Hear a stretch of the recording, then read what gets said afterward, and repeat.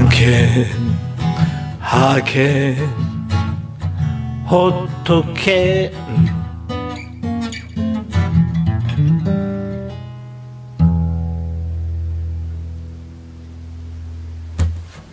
はい、今日はね、姫路市の大潮の自然について紹介します。今までのダイジェストですね。えー大潮はね、高砂市との境目にあります。だから姫路市の中で一番東側ですね。えーこの辺りね、国道250号線がありますね。でここに、えーその沿ってあるのは大潮の町です。えーそしてですね、山陽電鉄の大潮の駅がですね、止まるんですよ。こう直通特急特急が止まる駅があります。えーこういう町ですが、その大潮駅の南側にこういうね、林と草むらが広がってるんですね。えーそしてですね、えところが太陽光パネルもありますね。えそういう中にですね、えこういう生き物がですね、これはヌートリアですね。こういう草むらや水路のとこにいるんですね。えまた、タヌキやキツネ、そういうのもですね、えそれからイタチ、見たという報告もたくさんありますね。えさらに、これは春から夏、あの、後で紹介しますがね、ケンケンとね、えー勇ましい声を立てます。えー繁殖活動なんですね。えー、キジです。そういうキジもたくさんいるんですね。また、あの、水路にはですね、こういう赤手ガニがたくさんいます。えー、赤手ガニはですね、海に出て産卵します。ここに繋がってるですね美しいですね、大潮の砂浜に繋がってるんです。そういう水路が至るところなんですね。なぜそういう平坦な場所と水路があるのか。えそれはね、こういう場所に書いてあるんですね。釜や上にって書いてます。これ何何かというと、えー塩を作る塩田ですね。えー満潮の時にあの海底に沈む。えー干潮の時は陸になる。そういうあたりにですね、次、こういう水門を作ってですね、海の水をそう残すわけですね。そして干上がらして、そしてそこから塩を作るというような文化があったわけですね。そういう書がいっぱいあります。そういう王将について今日は紹介していきたいと思います。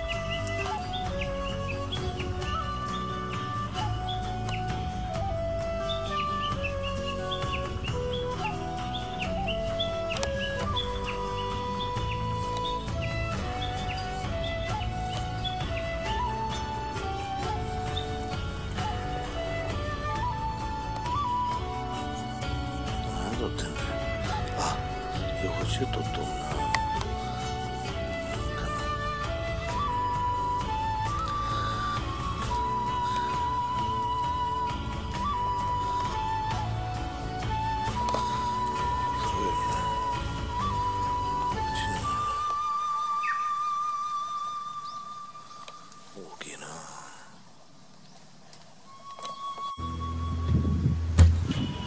さて裏の姫路台の北側のこのまあ森ですよね入ってみたいと思います。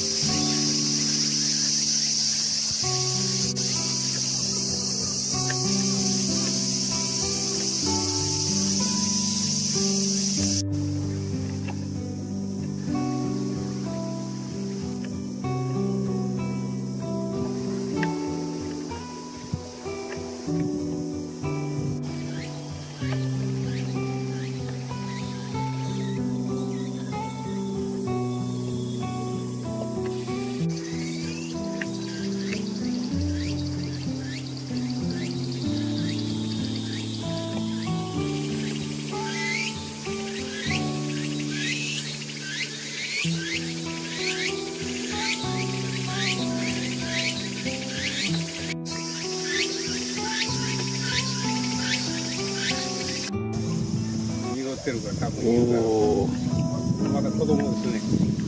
そうですね。おおもう一匹おる。おりますね。い呼吸するのが大変やから出てきましたね。ああ。あほんま顔出してますね。おおほんの鳥は見たここで。はあ。いやいやいやいや。ほんで牛がいると。でからその校舎のこの辺りということね。おお校舎がここにあると。あのミシシッピアカミミガメ。あ。あいやいやいや。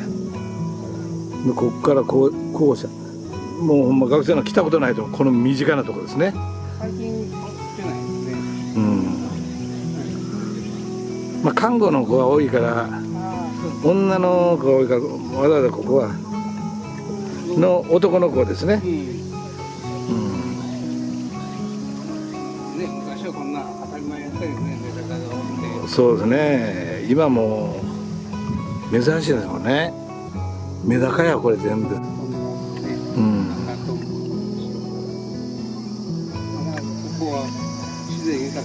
ですよね。これほんとこれメダカ本メダカですねほんま。黒メダカ。姫ダカちゃうでカダヤシのおるんですよね。え？カダヤシってねあの外国産のやつあるんですよ。そうそうそうそう。タップミノーよ。あれがまあこれメダカより強いんで。あれは売買できますけどこれは無理あダメですよね。ああ絶滅危惧いうことで。あれはカニやな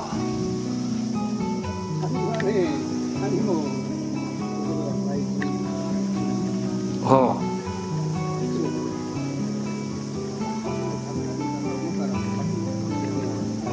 あ。あー。怖いですね。もううまいこと一番美味しいとこ知ってるんですね。うん。カニ。ああいやいや。大きいですよ。やっぱり栄養が豊か逆光でよろしい？ああもう大丈夫ですちょっと話だけ。そうですね。で今年はアブラゼミの方が多いと。ああああツクツクボウシ多いですよね。最近トゥクトゥク帽子トゥクトゥク帽子の。その辺で。鳥はあんまり関係ない？いや鳥もねふ冬になるとジョウビタキがこう来る。はい。あのね。紋がついてるやつ。はい。はい。モズですか？あモズはいますね。ピッピッピッと尻尾。ええあのね冬耕しあの耕してたらはい。ミミズが出るんですよたくさん。あそれを狙ってるねモズが来るんですあお。でも本1メーター耕してる横へ来ますから。あはい人懐っこいですわ。ああいやーなるほどね。時々大きいアオサギが止まってますよねこれええここのなんか。あああれも牛がいるぐらい食べますからね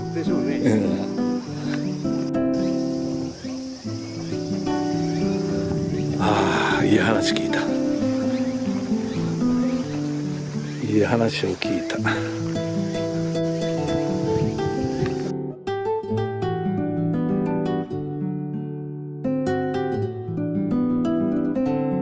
この向こうにこのこの校舎わかるでしょ？姫路大学があるわけです。だから姫路川の北側の小川はこの水門の向こうから流れてこっちへ来てね。で大潮の海岸につながってるわけですね。で向こうが大潮の砂浜です。海岸です。中尾宮橋。へえ。これ家で調べよう。これは何を意味するんや上に。うん。なかなか面白いな。そしてこれから。向こうにあるのが。姫路大学。えー、調べましたね。この釜屋というのはねそしてこの上にというのはどういう意味があるの？そしてその前のですねこの小川ですね。水路それがどういう意味があるのか、えー、調べましたこの水路はですね、塩田で利用されていたんですね。昔。大潮はね、塩、塩の生産で有名だったんです。この釜屋というのはね、塩田で、まあ濃縮された寒水というんですけどね、それを煮詰める場所のこと。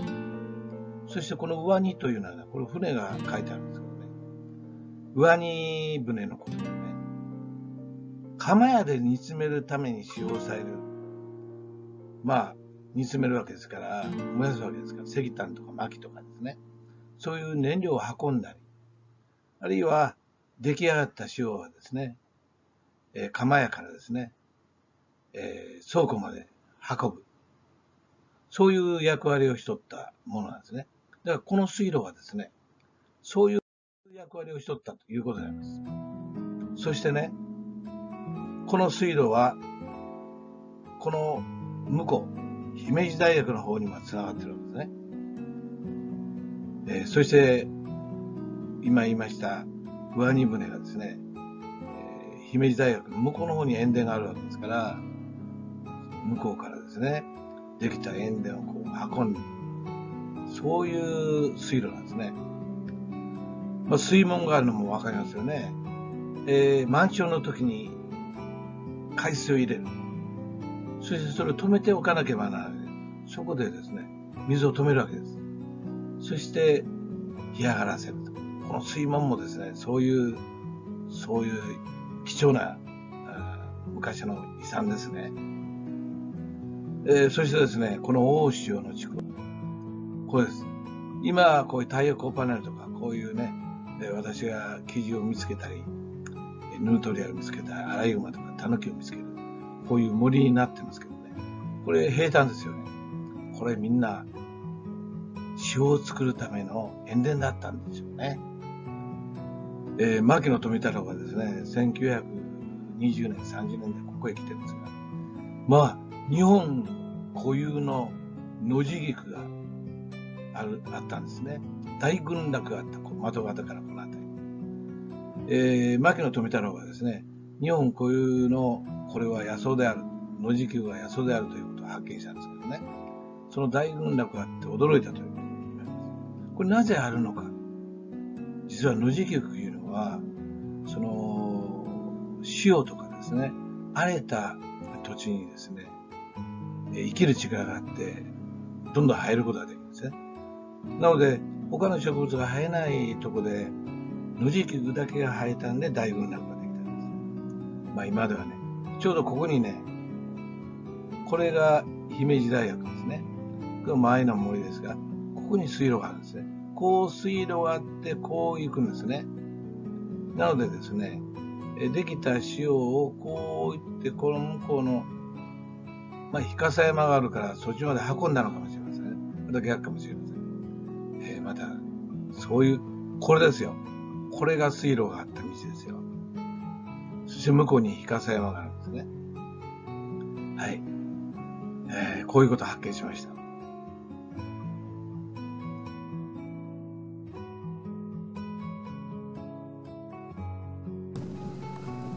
大潮の海岸です。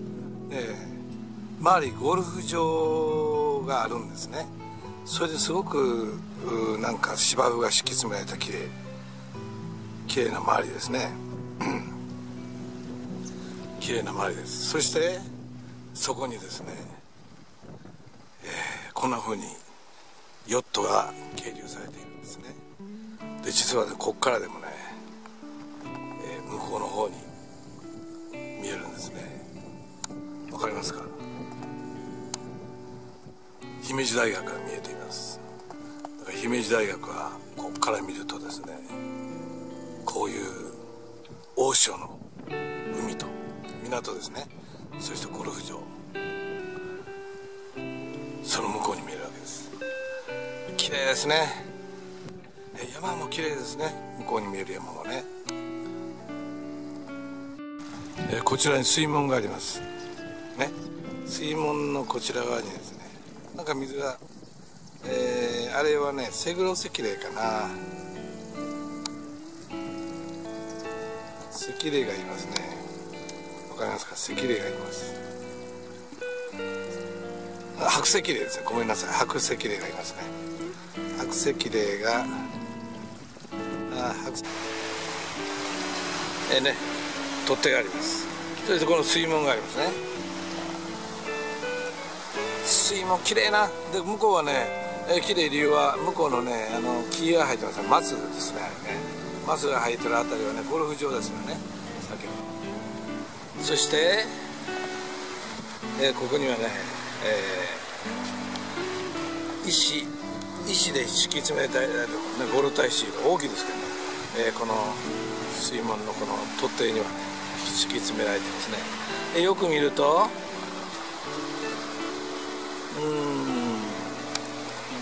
膝洗貝のようなものが見えますね、えーそして赤色の海藻が見えます。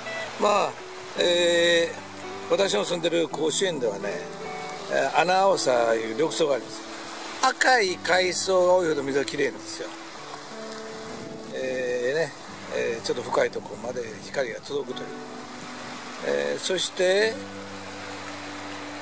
えー、膝があパッと見、えー、富士壺がなんかあの甲子園から少ないような気がしますよね、えーこれが大潮の砂浜です。